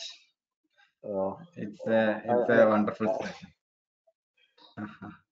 I know it Yeah, was like quite big because you know uh, uh, uh, uh, osteopathy in itself is a five-year course, and I've been given a space of one and a half hour to actually present it. So I don't. Uh, it's just Hmm. you know basically uh, the idea is to understand these topics and trying to learn. You know, if it's cupping, you learn about cupping. You learn about ISTM, you learn about it. Then you learn about trigger points. You learn, learn about you go for fascia. You need to understand about it. Right? So uh, can we? There were a couple of people. Uh, Yeah. Whether you can do Abhyanga as in the pattern of myofascial meridian, Dr. Vishnu K. Vijay. Yes, you know, we can definitely do, uh, you know, Abhyanga, but we need to be very thorough about the myofascial meridian. We need to understand exactly what are the structures. It all depends on your diagnosis. You know, if your diagnosis is very uh, proper, then I'm sure we can do it. We can do cupping on the trigger point, dry or wet cupping, and what is the action uh, of dry needling on trigger points. Now, what happens is, you know, uh, actually, there are different techniques that we use in treating a trigger point. A compression technique, we use a dry needling. Uh, something? Okay. Uh, you have the compression technique, you have the dry needling technique, you have the cupping technique. So it varies according to which area you want you know suppose suppose if it's like a sternocleidomastoid right? Uh, you don't really do a lot of dry needling there. It's better to go for uh, compression techniques right? So it is based on the region. It is based on uh, you know which area you want to do which muscle you want to address. If it is like a very deep muscle you know where you can't really uh, use so much of pressure there dry, dry might be better. So it varies according to uh, different uh, uh, you know uh, structure of the muscle that we are dealing with uh, how do we know the trigger point of a person? Yeah, doctor. Uh, before that, uh, I, think uh, we can introduce the uh, session that is the trigger point session. So you can uh, you can say uh, a few Okay, more so- words. Yeah, okay, regarding the uh, okay with, with the uh, Ayurveda map. Uh, could you just show that? Uh, yeah, sure, sure, sure. Uh, we have started a KSHIPRA series on pain management techniques, and you know, with Ayurveda map, uh, the module one was on uh, cupping therapy. Uh, the next module is about trigger point therapy, and we will be dealing in detail about you know different types of trigger points, uh, how you know how we can identify them. Uh, you know, we'll be uh, not all, but we'll be dealing especially with the area of the neck and shoulder. You know, we will uh, show videos and demonstrations on how you can find out in each particular muscle and what you can do to heal it. You know, it'll be a very useful technique uh, tool in your clinical practice, right? Uh, you can actually start teaching it the very next day of the session. So it'll be a four-day session. I think it's starting on May 16th, 9th. Uh, we're doing a four online session, right? And uh, you will be getting the videos as well. Yeah. Yeah, yeah, yeah. Okay. And uh, some, uh, how do we know trigger point of a person? Yes, uh, you know, it, it is about understanding the theory of trigger points, you know, we need to do a small study uh, course on it. You know, we need to understand what trigger point is, you know, elaborately study about it. Yeah, query why can Malay language Oh, that's was it to me or somebody else? Uh, I read the map. How exactly do we differentiate whether it is a uh, myofascial, muscular, neurological, bone, or joint related pain? Uh, so it, it, it is all, you know, uh, the basic, like I said, you know, when you understand trigger point therapy, there is uh, very interesting techniques that we need to do. We need to find out, you know, the compression techniques. We need to, like I said, you reproduce the pain, right? So we need to understand what is a trigger point. We need to learn more about trigger point therapy, and then uh, we need to uh, apply it.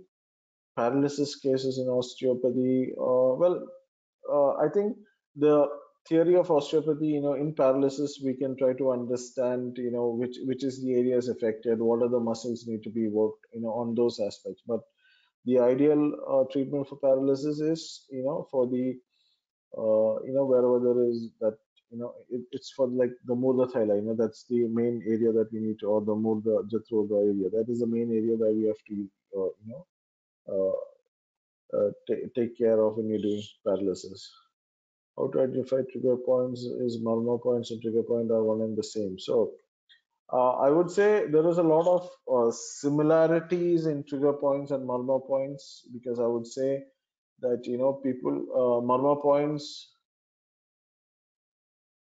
Marma points are actually that is you know the specific type of point that is there throughout the body and you know where people are uh, you know it's something that is over the years of practice that they have developed those techniques. So I think trigger point is also in a very early stage is more like a in, in, in that you know line and slowly but when an ayurvedic doctor does it we can actually better link it with uh, marma and trigger points. So how do you get to learn about learning different marma techniques? Uh, i don't know uh, you know the, there must be marma practitioners you know a lot of marma practitioners uh, who have specialized in it. I don't think it's available in any particular uh, colleges etc i think there are a lot of good marma practitioners. You'll have to go and find it.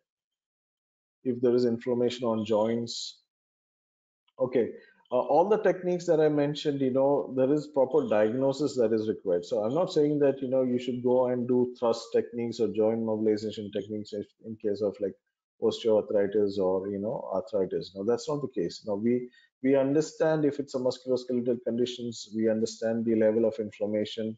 We give anti-inflammatory treatment, you know, you give Lepna, you want uh, bandages, you can give, you can give internal medicines, you correct it once the joint you know mobilization once the soft tissue mobilization is done only then we go for a joint mobilization technique so that is something that you know we need to diagnose and understand so we don't blindly follow any sort of protocols, right? Any, any, any, can we use Abhyanga?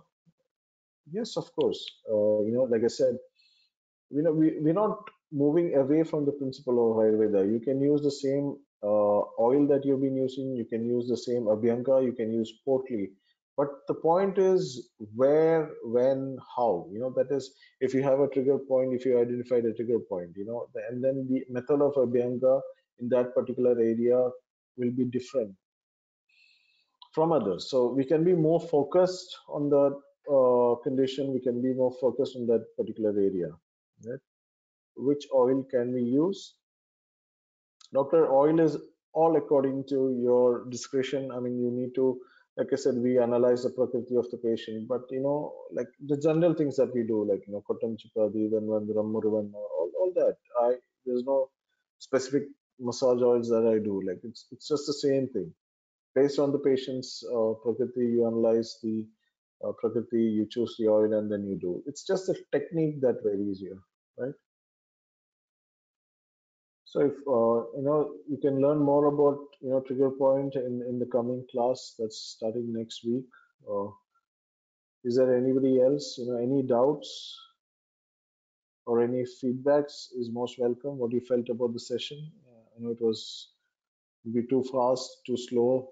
you know, too much of uh, uh, too many inputs in one go. It is not easy because, like I said, you know, osteopathy itself is like a four or five year course, and uh, to get it all under one and a half uh, hours or two hours of you know session is very very tough actually. Yeah, I think uh, I think uh, our previous uh, uh, cupping students are the KSHIPRA series one module, so they can also come forward to uh, uh, express their feedbacks or any experience after that after the session. Acupressure and trigger point therapy are same or different? No, acupressure and trigger point therapy are completely different.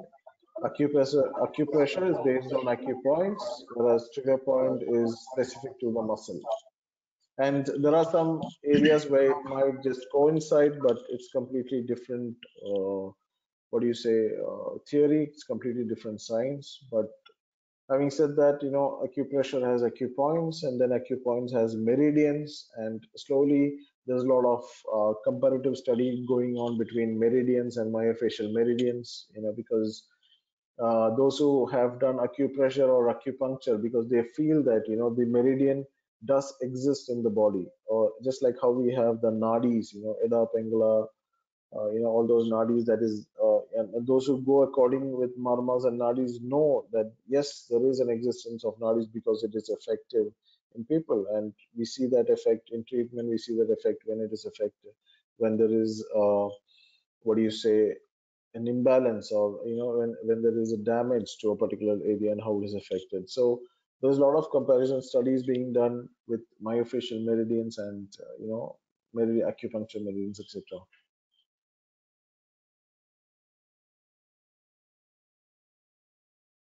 monica Chinas. yes doctor uh, uh, you know it's i would say this you know it, it is uh, you know in for me it was just one one step at a time and it's been in over what about like 10 11 years you know i started i first heard about trigger points from in, in one session and then i did online courses about it and then i've been trying to practice it in my clinic and you know i've been teaching doctors uh, because i realized that it is such a magical treatment you know and we as doctors should definitely know what is a trigger point. So uh, once you understand trigger point and then you'll be able to relate to the other things that are said. So uh, you know with all this i'm sure it's too much to uh, you know soak in uh, but this is something that you can you know make a list of you know how you would want to progress in in future like you know what are the things that you can study you know what are the things that you need to look for? You know if you hear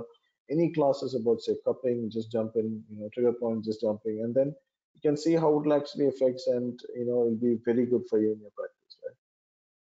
Trigger points and marma points are same uh, it's the same answer doctor. Uh, you know it's completely different uh, you know in trigger point it's all related to muscle muscle fiber whereas marma point is completely different. So it's not it's not the same. But yes, there are a few points, few spaces where you know the marma points and the trigger point actually coincides, but you cannot say it's the same. For example, you know, just in you have the Indrabasti right in you know in the center portion of your calf muscle, right? That's also a place where you have the trigger points of the gastrocnemius, right? And then you have the uh, you have a marma here. Uh, I forgot the which, which marma is here. It, it's called Kakate column in in the vermology. Uh, I think Hamsaphalaka or something. Yeah, Hamsaphalaka marma is here, and it's almost the same thing as the middle trapezius uh, uh, trigger point. So a lot of common or or you know coincidences between marma and trigger points, but they're not they're not the same. Okay. Okay. Okay. Thank you, doctor. Is there uh, any uh, feedbacks? Yeah. Uh, yeah. Waiting for any. 107 107 marma. There's uh, three or name. Yes. Uh, like I said, you know, there is. Uh, I would say it's completely different science, different areas. You know, I think it's better not to when when you think about trigger points, just focus on trigger point therapy, myofascial barrier, and then you can treat accordingly. I it's marma, you know, treat accordingly, and it has its due respect. But when you start with trigger points, the thing is you will be able to understand marma in a much better way because uh, for marma, you know, it is more like uh, a theoretical knowledge. It's more like a philosophy and it's more like you know those points we need to uh, first blindly understand the, that here there is a point and then we need to treat and then we need to practice. And that's what happens you know. There are a lot of marma courses and i see that there is you know like something called as uh, Vermology in Coimbatore. They con they conduct a lot of classes and you know the uh, people are, there are about 100 110 participants in every class they used to have and you know and when we go there are only hardly 10 people practicing out of it because uh, it's not very easy to understand the concept of marma. It's not very easy to understand the you know the, uh, to understand what is a marma. But uh, you know once we understand trigger point therapy what happens is you know it is like the very simple you know you we are to the point. You know it's in a muscle. We are understanding treating the muscle and then when we connect the myofascial meridian, then we see there is an involvement of structures and then we can probably connect to what is nadi, etc. And then once we understand trigger points and nadis, and then when we can refer marmas and we, you know how better marma actually works and you know what are the areas that you know uh, there are specific points for marmas and probably how it would have come. So it is good to understand both. That, that's that's the main uh, Yeah. think, uh, that, that's about it. Yeah, yeah, yeah, yeah. We, we are going to wind up. Before that, any person uh, here uh, for a feedback you can unmute and uh, have okay. So our uh, previous participants there, I think uh, everyone uh, has left. okay. Uh, is anyone there? Okay, okay, doctor. Uh, so thank you, thank you for this uh, session, and uh, uh, yeah, definitely we can meet at the uh, on uh, 16th. Yes. Yeah, we'll- on the trigger point. trigger point therapy. Yeah, Okay. yeah. This this time we have uh, good uh, registrations. Hope uh, everyone we can, can meet at uh, uh, on uh, 16th, May 16th. Okay. Thank you, doctor. Thank you very much. Yeah, yeah. Okay. Good night, doctor. Thanks.